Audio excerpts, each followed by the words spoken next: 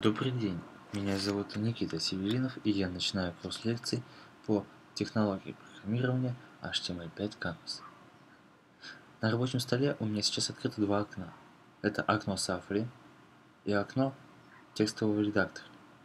В текстовом редакторе у меня открыт файл canvas.html. В браузере Safari у меня открыт этот файл canvas.html. Как мы видим, у меня в текстовом редакторе Сейчас нам набросан шаблончик HTML страницы с включенным скрипт файлом, в котором мы будем обращаться к элементу canvas. И давайте мы его пропишем. В теге body мы пишем canvas ID canvas. Указываем ширину и высоту.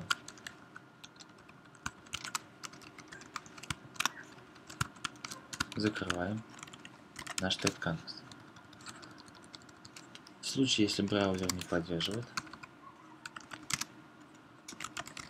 он отобразит нашу нам строчку Not Support Canvas. Обновляем. Как мы видим, что у нас браузер Safari поддерживает эту технологию. Укажем в скрипт файле а, укажем в скрипте глобальные переменные. Canvas, контекст, ширину и высоту. Пропишем функцию init, которая служит для инициализации нашего холста. Canvas. Canvas равняется документ. get element by id canvas точка, точнее точка запятой. Дальше. Переменная v равняется canvas точка with, h равняется canvas точка height. Контекст равняется canvas точка get контекст. Указываем 2D. И контекст равняется stroke rect 00 vh. Stroke rect принимает 4 параметра Первый параметр и второй параметр отображают, откуда рисовать. Два других остальных параметра отвечают, насколько, какую область мы рисуем по высоте и ширине. Stroke Rect рисует прямоугольничек, который является прозрачным, без заливки. Указываем событие unload в Тагибаде и прописываем нашу функцию init.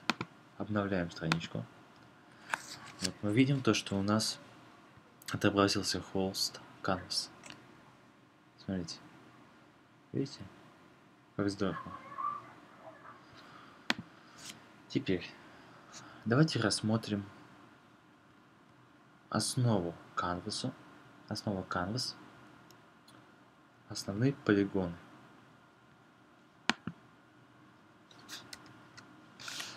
Основные функции. Итак, функция stx, э, допустим, fill style, отвечает за стиль заливки. Здесь можно указывать формат такой. Дальше формат цвета RGBA такой. Указывать цвет в виде такого синтаксиса. Или же просто прописывать цвет. Я пропишу цвет Silver.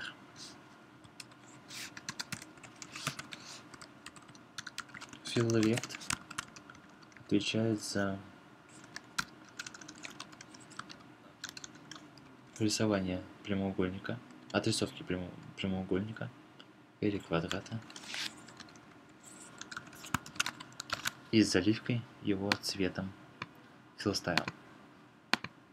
Вот мы видим, что у нас нарисовался прямоугольник, отрисовался с координатами 40, 40, 80 и 90.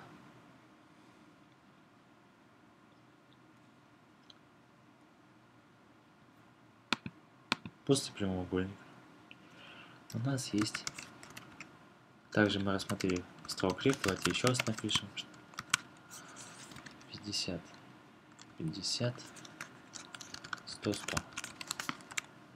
Ну что получилось. Вот. Мы видим то, что у нас поверх нашего fill rect нарисовался строк rect.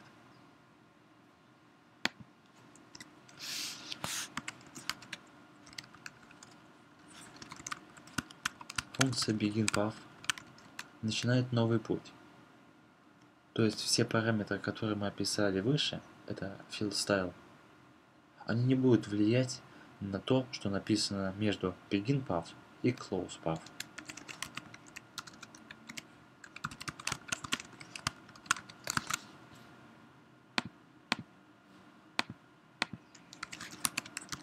Fill style.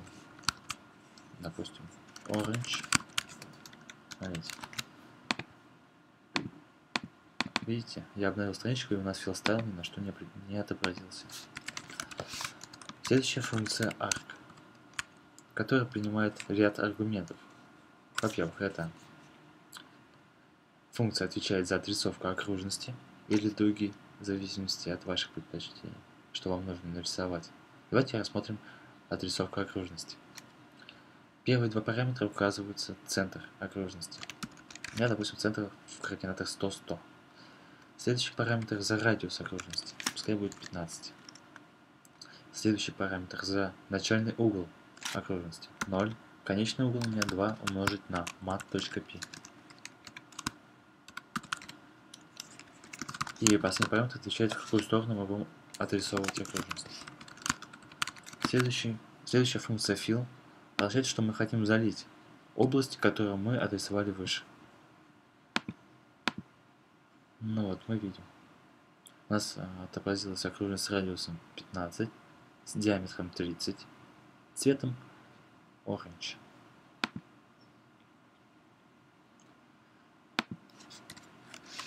Следующая функция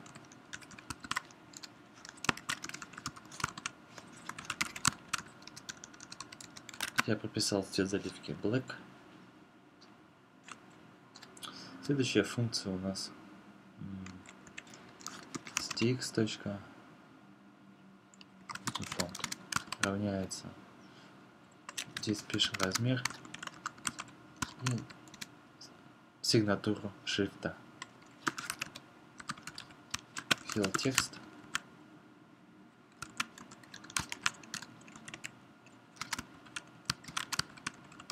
Допустим, такой текст и с координатами 3, 200, 100, 150.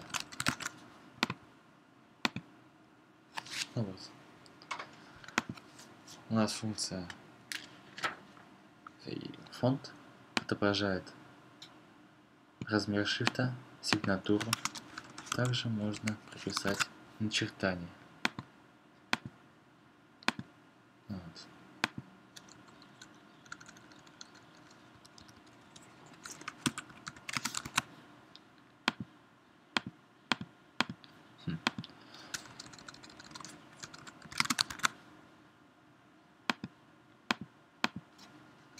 Да, видимо, после, после сигнатуры указывается.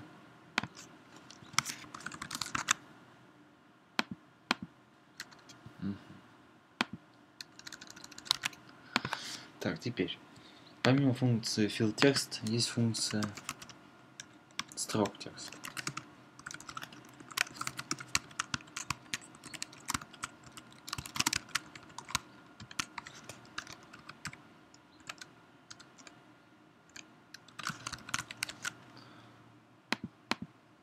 Вот мы видим, чем отличаются.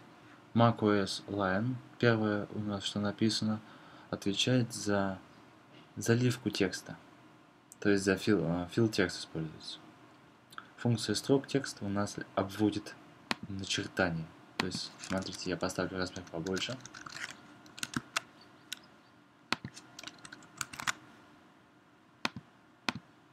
Вот мы видим наглядно, как это работает можете заметить, что это все растровый рисунок. Вот. Теперь рассмотрим функцию moveTo и lineTo. Прописываем новый путь beginPath.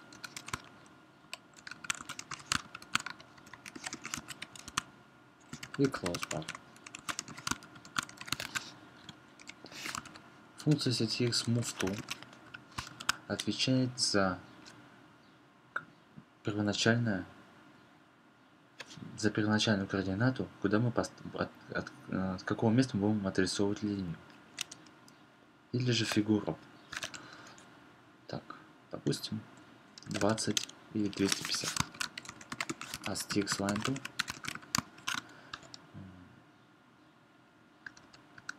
Так, 250, 250. У нас линия где-то будет вот так идти сейчас. И мы должны отрисовать эти линии, использовать функцию строк.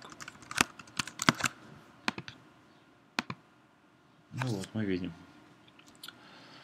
В сегодняшней лекции мы рассмотрели основные, основу canvas а. В следующих лекциях мы рассмотрим более подробно. Как вы видите, что canvas это будущее,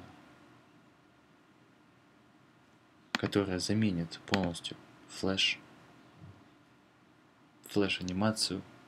И на canvas е можно писать очень красивые игрушки для различных устройств.